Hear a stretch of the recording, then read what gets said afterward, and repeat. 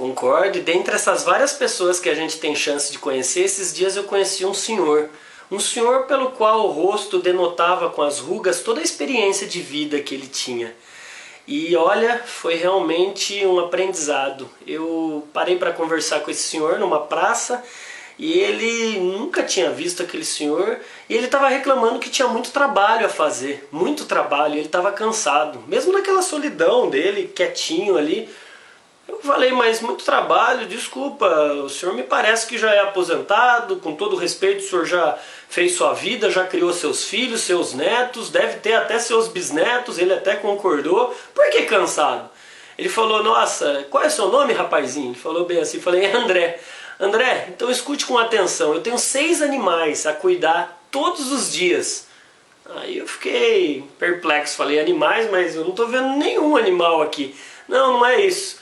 É o seguinte, eu tenho dois falcões, duas águias, dois coelhos, uma serpente, um jumento e um leão.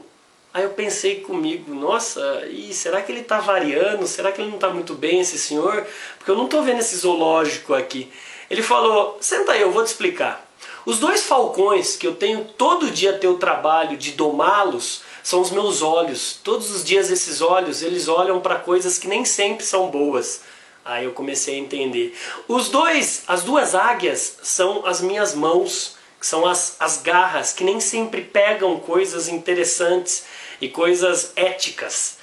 É, os dois coelhos são os meus pés, que nem sempre na agitação deles e ansiedade deles me levam a lugares interessantes e agradáveis. A mais difícil de todas, que é a serpente, que fica atrás de, de uma jaula com 32 grades, sabe? 32 grades, exatamente. Essa serpente é a língua que essa, quando machuca, não dá tempo de voltar atrás, porque uma vez ela pica, é, o veneno dela se prolifera, e uma vez que você machuca pessoas, é complicado depois você pedir é, o perdão. Então você tem que domar também essa serpente. O jumento é o nosso corpo, por quê? Porque nem sempre ele quer praticar exercício, quer fazer o que tem que ser feito para a saúde, ele é preguiçoso, ele é acomodado. E eu perguntei, e o leão?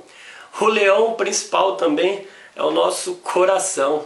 Esse coração muitas vezes vaidoso, orgulhoso e que guarda muito rancor, ele deve ser realmente domado e dominado todos os dias.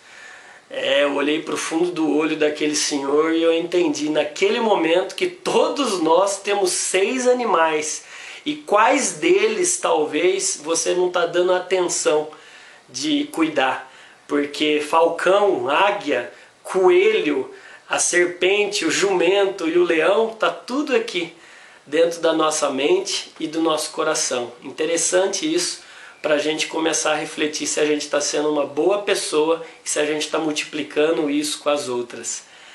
Pois é, valeu a pena.